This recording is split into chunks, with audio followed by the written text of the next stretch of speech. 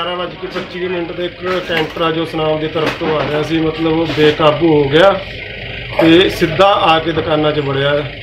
ਜਿਸ ਨਾਲ ਮੌਕੇ ਤੇ ਹੀ ਮਤਲਬ 8-10 ਮੋਟਰਸਾਈਕਲ ਚੱਕ ਲੈਨੇ 15-20 ਦੋਨੇ ਦੁਕਾਨਾਂ 'ਚ ਬੰਦੇ ਸੀ।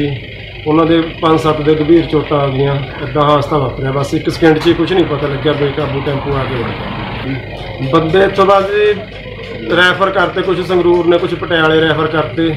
ਇੱਕ ਮੁੰਡਾ ਸੀਰੀਅਸ ਆ ਉਹ ਪਟਿਆਲੇ ਰੈਫਰ ਕੀਤਾ ਕੁਛ ਸੰਗਰੂਰ ਨੇ ਇਹ ਕੋਈ ਮਤਲਬ ਹਿਸਾਰ ਸਾਈਡ ਤੋਂ ਹੈ ਕੋਈ ਅਜੇ ਕੋਈ ਜ਼ਿਆਦਾ ਤਾਂ ਪਤਾ ਨਹੀਂ ਲੱਗਿਆ ਹੈ ਪਤਾ ਲੱਗਿਆ ਜਿਹੜੇ ਕੋਈ ਡਾਕੂਮੈਂਟ ਮਿਲੇ ਉਹਦੇ ਚ ਉਹਦੇ ਚ ਵੀ ਮਤਲਬ ਹਿਸਾਰ ਸਾਈਡ ਦਾ ਹੈ ਇਹ ਜੀ ਇੱਕ ਕੈਂਟਰ ਸੀਗਾ। ਇਹ ਸੰਗਰੂਰ ਤੋਂ ਆ ਰਿਹਾ ਸੀ ਹਿਸਾਰ ਨੂੰ ਜਾ ਰਿਹਾ ਸੀਗਾ। ਬੜੀ ਤੇਜ਼ ਰਫ਼ਤਾਰ ਨਾਲ ਆ ਰਿਹਾ ਸੀ। ਇਹ ਥੋੜਾ ਥੋੜਾ ਮੀਂਹ ਪੈ ਰਿਹਾ ਸੀ।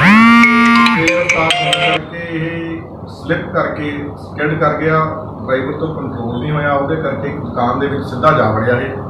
ਉਹਦੇ ਨਾਲ ਜਿਹੜੇ ਦੁਕਾਨ ਦੇ ਵਿੱਚ ਖੜੇ ਸੀਗੇ ਤਿੰਨ ਵਿਅਕਤੀ, ਉਹਨਾਂ ਦੇ ਬੜੀਆਂ ਗੰਭੀਰ ਸੱਟਾਂ ਲੱਗੀਆਂ, ਜਿਹੜਾ ਡਰਾਈਵਰ ਤੇ ਕੰਡਕਟਰ ਸੀਗਾ, ਉਹ ਵੀ ਬੜੇ ਗੰਭੀਰ ਰੂਪ 'ਚ ਜ਼ਖਮੀ ਹੋ ਗਿਆ। ਦੁਕਾਨ ਦਾ ਜਿਹੜਾ ਲੈਂਟਰ ਸੀ, ਉਹ ਟਰੱਕ ਦੇ ਉੱਪਰ ਆ ਗਿਆ, ਉੱਪਰੋਂ ਬਿਜਲੀ ਦਾ ਤਾਰਾਂ ਟੁੱਟ ਗਈਆਂ, ਕਰੰਟ ਆ ਗਿਆ।